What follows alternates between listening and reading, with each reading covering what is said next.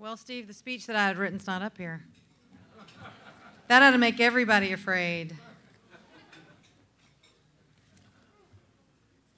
We're here tonight to welcome a patriot, a fighter, a conservative who speaks for the rest of us.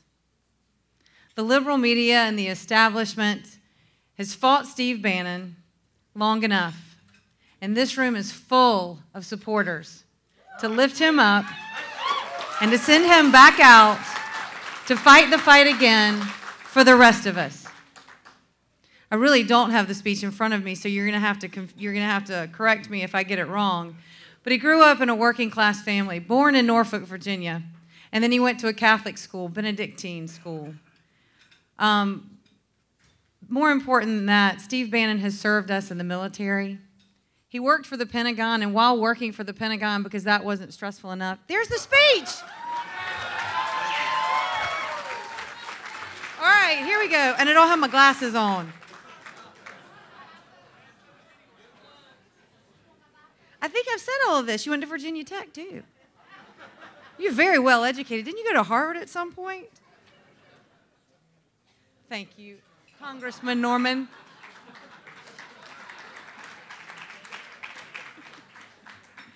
After being honorably discharged from the Navy, Mr. Bannon had a successful career in investment banking at Goldman Sachs. Everything um, from the Pacific Fleet to Wall Street, with a detour through Hollywood, Steve Bannon has seen America. And through it all, he watched while leaders in both parties left behind hardworking Americans who follow the rules and used to be able to get ahead. For the past decade, Steve Bannon has been serving us in another way. He's been working for the men and women of this country who are busy building their businesses and growing their families, the ones who are too busy following the rules and chasing the American dream to complain about what they're not getting. In the last 10 years, Steve Bannon has been the member of the board of Breitbart News, the executive chair,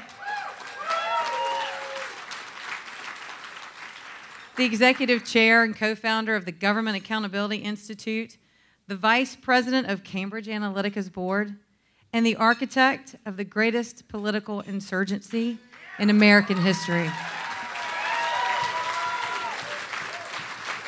Today, establishment politicians are shaking in their boots.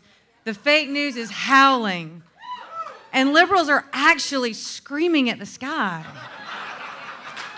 because of President Trump and a grassroots revolution to drain the swamp led by our guests here tonight. Whether it's in Columbia or Washington, the establishment, establishment politicians are hearing loud and clear that they work for us. We want less talk. We want less red tape. We want more action. It's time that we get what we pay for and make America great again.